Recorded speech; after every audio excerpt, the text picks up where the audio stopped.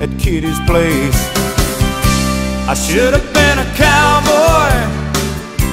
I should have learned to